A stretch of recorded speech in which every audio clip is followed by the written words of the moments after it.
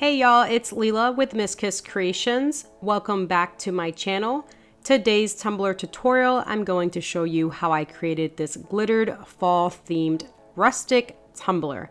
Like always, all of my materials will be listed in my description below, including some direct links and coupon codes.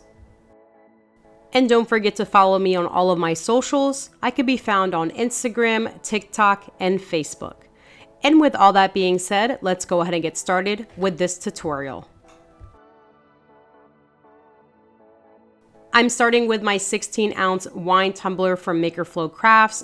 I first sanded this tumbler down with an 80 grit sanding block and then I wiped it down with 91% alcohol. Make sure you are sanding the rim of the tumbler and the bottom and make sure you are using at least 91% alcohol to remove any of those excess oils or sanding dust that may have been placed on the tumbler.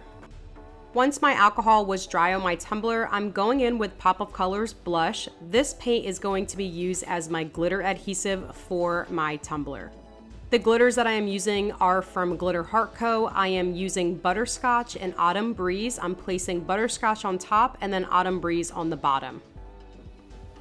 I first start by painting the blush all over the tumbler and I always try to paint a thicker rather than thinner coat because I don't want that paint to dry.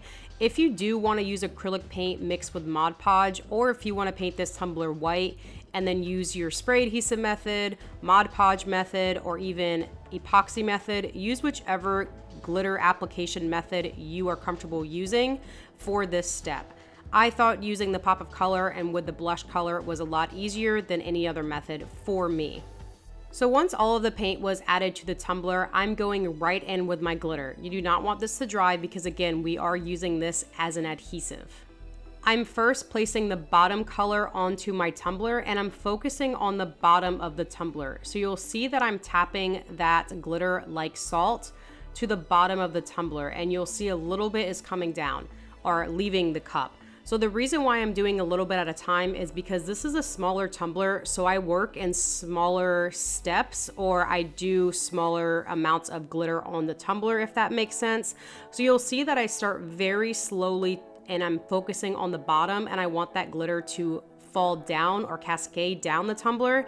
And then I move on to that top color and then I go back to the bottom color. Again, the reason why I go back and forth with my glitter colors is because this is such a small tumbler. If I was working with, let's say like a 30 ounce or a 20 ounce skinny, that glitter is going to run down even more and I have more room to play with rather than using this 16 ounce wine tumbler. So once I added that bottom color, I went in with my top color and you'll see that some of my paint dried while I was placing the glitter on the tumbler. That is okay. I'm going to take my paintbrush and just spot treat some of those areas. Just blot that or fan that paint on very lightly. You don't want to add a lot of paint to those areas because it's going to look like very splotchy and you're going to have glitter clumped up in those areas. So I'm slowly fanning that paint and then going back in with that top color color and I'm trying to have that glitter, once I go towards the middle, have that glitter cascade down or fall down. You'll see that I'm lifting my hand more or further away from the tumbler as I get closer to the middle because I don't want a lot of that glitter placed on that tumbler. You want that fading effect. And the reason why I place my glitters into these one ounce containers is because I do have a heavy hand. Y'all all know that. So if I accidentally spill that entire cup of glitter onto the tumbler, I don't have to worry as much because I know it's a little bit of glitter. So if I were to spill that two ounce bottle of glitter onto the tumbler, it'll take me a lot longer to fix that tumbler than if I just spill a little bit. So you'll see I'm just slowly mixing those colors in the middle as I'm getting closer to the middle, I'm raising my arm away from the cup, getting more further away from the cup than whenever I'm towards those edges or the top or the bottom of the tumbler. Another thing I like to do is mix those two colors together. So I mixed it inside of a cup and then I sprinkle some of that glitter towards the middle or in the middle to give that nice mixed effect. So you can always just mix those colors together and just pour those glitters on the middle using that one ounce cup or you can just use your finger like what I'm doing and just sprinkle that on, pinch it on like some salt and just give it a nice mix effect in the middle depending on how hard or how um, soft you want your ombre or your gradient effect. During this process, if you find your tumbler drying or you find your glitter not sticking to your tumbler, that's okay. You can always go back in and spray the middle of your tumbler with some spray adhesive and then go ahead and place more glitter towards the middle. So use that spray adhesive, add that glitter, and look how beautiful that tumbler looks so far. And once my glitter was placed on my tumbler, I'm going to spray my tumbler with my Krylon Crystal Clear acrylic coating. This helps seal that glitter onto the tumbler, and this also lets that glitter stay into place. So whenever you epoxy over, if you don't spray your tumbler with this sealer, then your glitter is going to move around that tumbler and it's going to really mix and you're not going to keep that ombre effect. It takes about 15 to 20 minutes for the sealer to dry on your tumbler, and once the sealer is dry, go in and epoxy your tumbler. For this 16 ounce tumbler, I use 30 milliliters of epoxy. That's 15 milliliters part B and 15 milliliters part A. I do apologize, I did forget to record this part. I actually thought my camera was recording and it wasn't. So once your epoxy is cured, we'll move on to the next step. I did use my Fast Set epoxy for this step. You don't have to use Fast Set epoxy. You can use whichever epoxy you have on hand. And once my tumbler's epoxy is cured on my tumbler, we're going in and we're going to clean up the rim of the tumbler and also sand the tumbler. I am using a 220 grit sanding block to sand the tumbler. I'm using a more fine grit because I do not want to sand away that glitter. Before I decided to do that, I guess I wanted to go in and clean up the rim. I do this after every epoxy step. I'm using an X-Acto knife and I'm cleaning that excess epoxy that may have cured around the rim. Again, I do this after every epoxy step instead of doing one big cleanup at the end. It makes it a lot easier whenever you're doing that final cleanup towards the end of your tumbler process. Make sure you are trying to press down towards the middle of the cup and not press towards the outside of the cup because if you do press down towards the outside, your hand might accidentally slip and then cut that tumbler. So I'm using a 180 grit sanding block to sand away the rim of the tumbler. So you wanna make sure you're sanding the rim of the tumbler and and kind of sanding a little bit of the rim. You'll see how I do that there. And that way I'm, I'm kind of creating a seal for that glitter and for that design. So when I epoxy over, it's going to have that nice seal on the tumbler. So you don't have to worry about your epoxy coming up. Once I finish sanding the rim of the tumbler, I'm going to sand around this tumbler. Again, sanding very light because I don't want to sand away any of that glitter.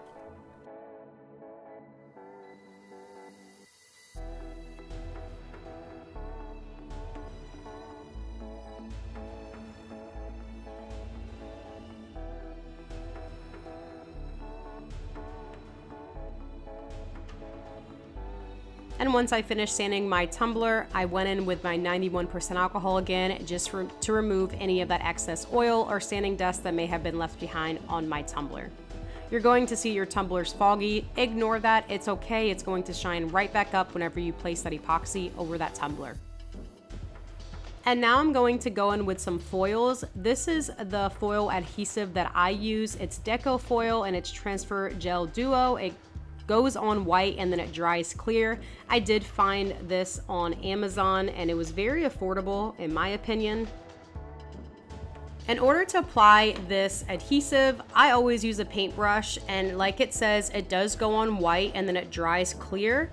So what I do is I apply this adhesive in random spots of the tumbler you have to let this adhesive dry. So you can either air dry this tumbler, it takes about 20 to 30 minutes because you are adding just a little bit of that adhesive, or if you have no patience like me, then you can take your heat gun and use your heat setting on low and apply a little bit of heat to those areas and then it should dry very, very quickly.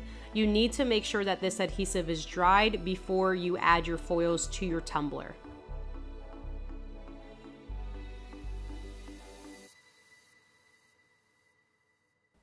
Once that adhesive was completely dried, I went in with some of this cute leopard print foil and you use a little bit of this, so a little bit of foil goes a long ways. I always cut my foil in squares.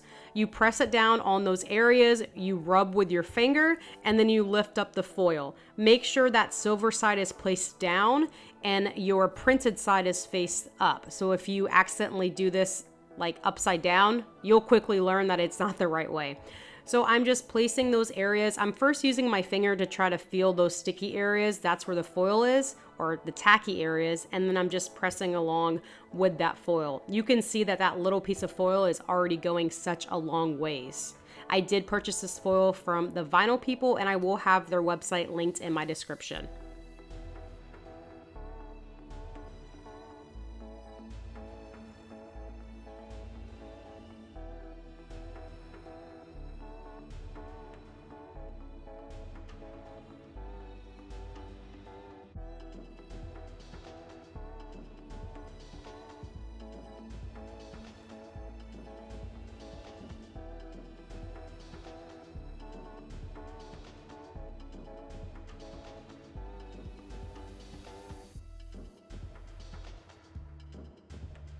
Once I was satisfied with my first round of foils, I then went in with my whites from Pop of Color. You can use acrylic paint or any other paint you have on hand.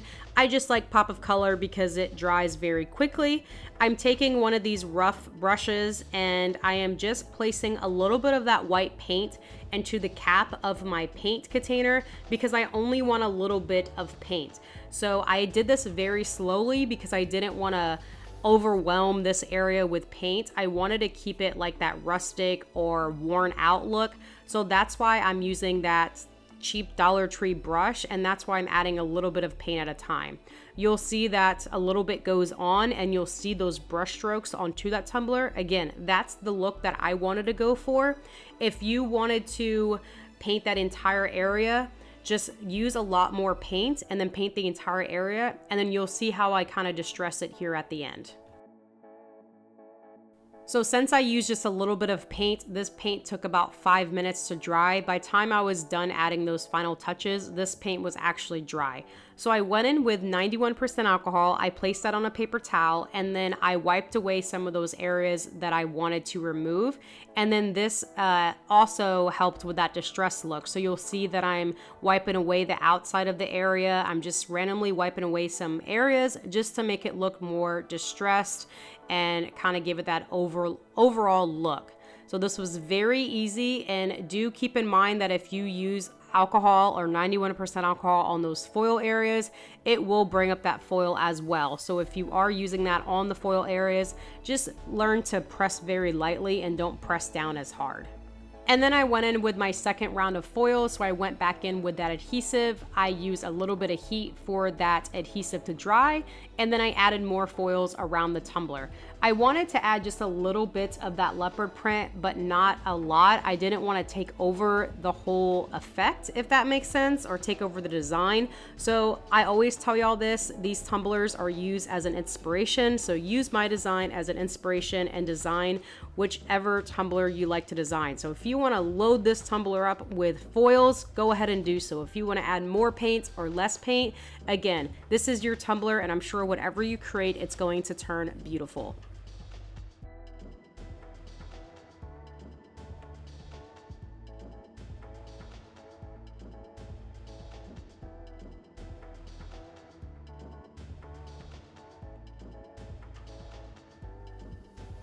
And once those foils were placed on my tumbler, I went right in with epoxy in my tumbler. I used about 10 to 15 milliliters of epoxy total. The reason why I epoxied this tumbler is just to lock in that design. So you do not need a lot of epoxy. You need a very thin layer of epoxy. And again, I did use my fast set epoxy for this step just to speed up the process.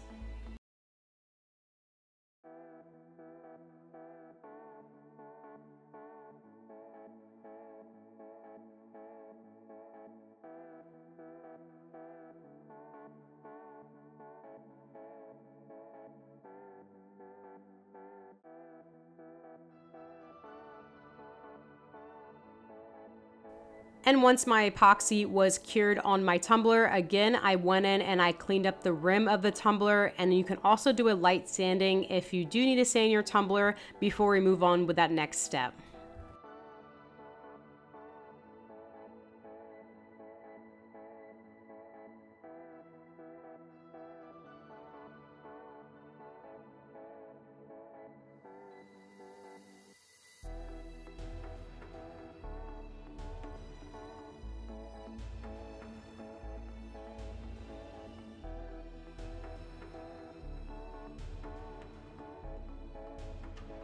And once I finished sanding, I went in with my 91% alcohol again before adding a water slide to my tumbler.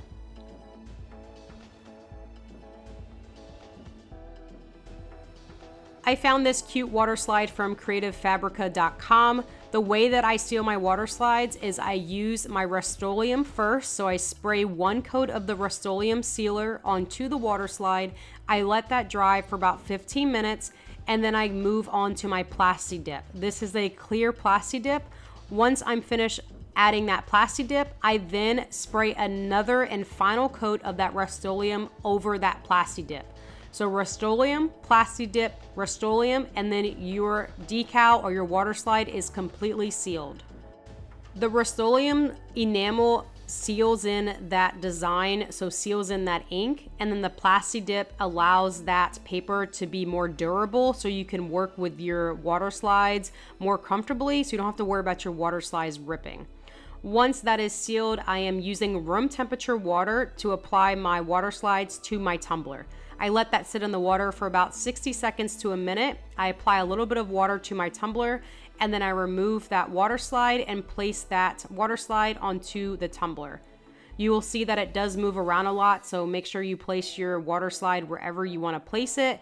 I use that silicone brush to fan out any of that excess water underneath the water slide, and then I use a paper towel to blot around the areas to really dry that area. I know a lot of people are scared to use water slides, but using this method and sealing the water slides the way that I use to seal, it really makes this process a lot easier. And once my water slide was placed on my tumbler and I had no more water on my water slide, the area was completely dried, I went in with my final coat of epoxy.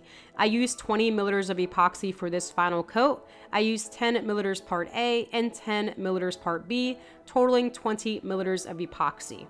If you need to do two coats of epoxy, so do the first coat, let it cure, and then the second coat, I would recommend doing two thin coats instead of the one thicker coat. You don't want to overload your tumbler with a lot of epoxy because you still want a thin and smooth tumbler.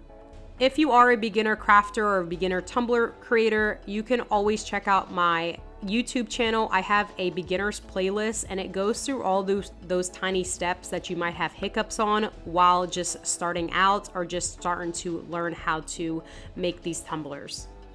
And then once my epoxy was cured on my tumbler, I then removed it from the cup turner and then I cleaned up the rim for the final time and then I cleaned up the inside of the tumbler. If you guys need assistance with cleaning up the inside of the tumbler, again, check out those beginner help tutorials. They will help you tremendously with these steps.